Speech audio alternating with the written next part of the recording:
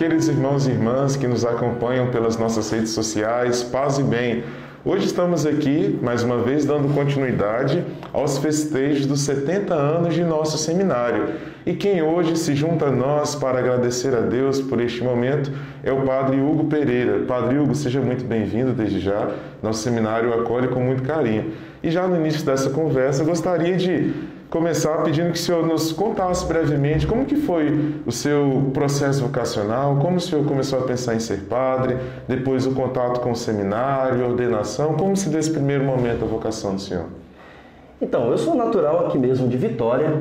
Eu fui criado na cidade de Cariacica, ali na sede do município. Ali eu fui batizado, fiz a minha primeira comunhão, ali eu recebi o sacramento do crisma então, esse ambiente de igreja sempre foi muito comum para mim e também para os meus familiares.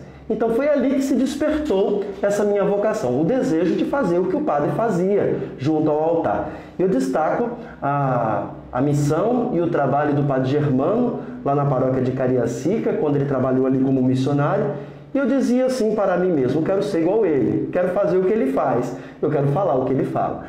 E assim foi me despertando o desejo, apesar de que eu era muito novo. Depois, quando atingi uma idade adequada, eu comecei a procurar o seminário, comecei a vir aqui no seminário Nossa Senhora da Penha, fazendo os encontros vocacionais, porém a minha vida foi se dirigindo para um outro rumo. Eu procurei a congregação dos padres do Sagrado Coração de Jesus e entrei neste seminário do Instituto Religioso no ano de 2003. Ali eu fiz o propedêutico, depois eu fui para a filosofia em Brusque, lá em Santa Catarina. Depois da filosofia, eu fiz o postulantado lá em Terra Boa, no Paraná.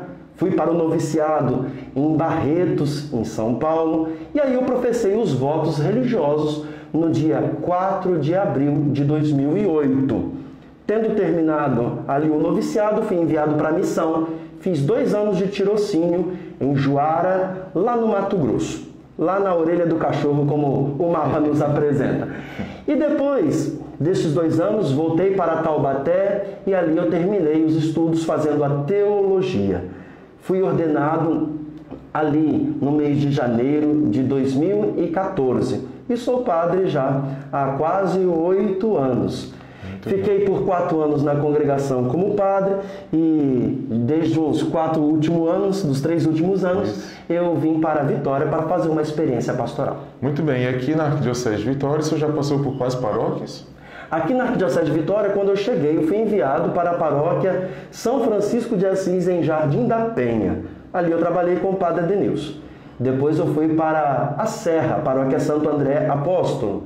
Depois dessa paróquia, eu fui para a paróquia da Praia da Costa. Ali eu trabalhei como vigário.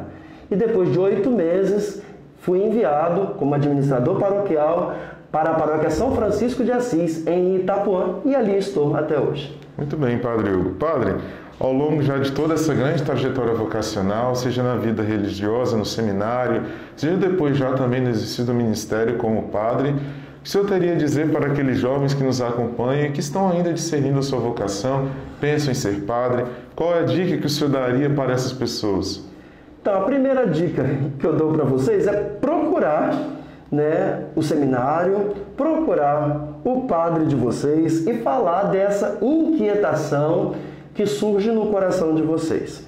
Então procure a igreja, manifeste né, a igreja na pessoa do padre, na pessoa do seu pároco, ou até mesmo aqui no seminário, manifeste o seu desejo, quem sabe, de, de, dessa inquietação que está dentro do teu coração. E aí vocês vão ser orientados.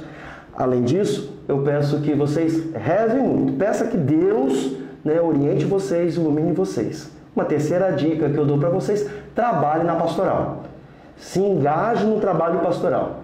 Então não tem como entrar para um seminário sem ter uma vida pastoral junto aos seus né, conterrâneos, junto à sua paróquia de origem. Por isso, trabalhe, vai lá na liturgia, trabalhe com um grupo de jovens, trabalhe na catequese e vai ser um bom discernimento vocacional no trabalho pastoral. Muito bem. Padre Hugo, já nos encaminhando para o final deste vídeo, também fazem parte destes 70 anos de história da nossa casa, aquelas pessoas que nos ajudam, seja através das orações, seja também através de uma contribuição material mais direta. Essas pessoas são os nossos amigos do seminário. Então eu queria pedir ao Senhor que deixasse para eles, para nós, a bênção para encerrar esse vídeo. Primeiro de tudo, muito obrigado. Vocês ajudam o nosso seminário. Deus abençoe a todos vocês, fortaleça a missão de vocês, continue a rezar pelo Seminário Nossa Senhora da Penha e agradecemos as doações, porque as doações de vocês ajudam a formar os futuros padres da igreja. Invoco sobre cada um de vocês, sobre vossas famílias, os parentes e amigos, a bênção do Deus Todo-Poderoso, que é Pai, Filho e Espírito Santo. Amém. Padre Hugo, muito obrigado pela visita e a você que nos segue, continue nos acompanhando. Um abraço, paz e bem. Paz e bem.